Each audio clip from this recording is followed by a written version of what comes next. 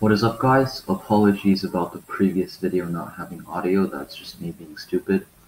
So anyways, here's my face reveal and an update on things. So my channel might get banned from YouTube, but I'm not entirely sure since I did kind of overcome Carrie's uh, removal request by deleting the video before it got processed.